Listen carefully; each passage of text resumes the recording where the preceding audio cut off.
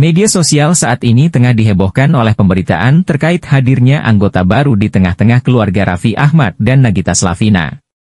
Akhir-akhir ini muncul dugaan bahwa Raffi dan Nagita telah mengadopsi seorang bayi perempuan yang diberi nama Lili. Terkait kebenaran kabar tersebut, Raffi masih belum mau angkat bicara. Saat ditemui, ia enggan bicara banyak terkait Lili. Kita ceritain nanti kalau Lili, kata Raffi Ahmad di kawasan Jagakarsa, Jakarta Selatan. Di tengah kabar hadirnya Lili di tengah-tengah keluarga Andara tersebut, Raffi pada hari ini, Minggu, 14 April 2024 mengunggah foto sang istri, Nagita Slavina tengah mencium Lili. Dalam foto itu, bayi perempuan tersebut tampak menggemaskan, dengan aksesoris bando berhias pita berwarna merah muda. Wajah Lili yang sebelumnya dirahasiakan, dalam foto tersebut diperlihatkan sebagian. Lili tampak tengah tertidur.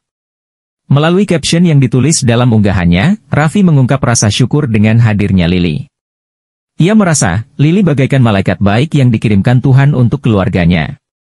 Grateful, Lili, seperti malaikat baik yang dikirim Allah subhanahu wa ta'ala, tulis Raffi Ahmad. Sehari sebelumnya yakni pada Sabtu, 13 April 2024, Raffi juga mengunggah foto yang menampilkan kebersamaannya dengan keluarga dan juga Lili. Dalam foto itu, Lili tampak digendong Nagita, Rafathar dan Rayanza juga ikut berfoto. Raffi Ahmad dan Nagita Slavina sendiri menikah pada Oktober 2014 lalu. Sebelumnya, Raffi dan Nagita sudah memiliki dua orang anak laki-laki. Pertama, Rafathar Malik Ahmad yang lahir pada 15 Agustus 2015.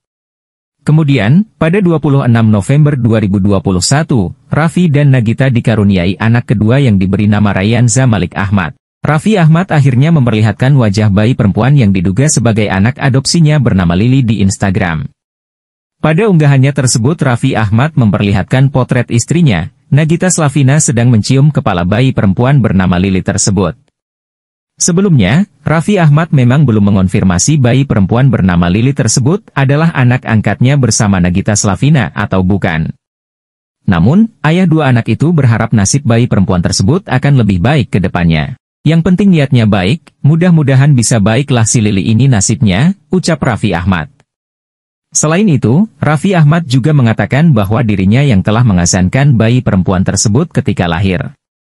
Raffi Ahmad menolak membeberkan latar belakang dan pertemuannya dengan Lili, karena ingin membicarakan hal tersebut setelah momen lebaran berlalu.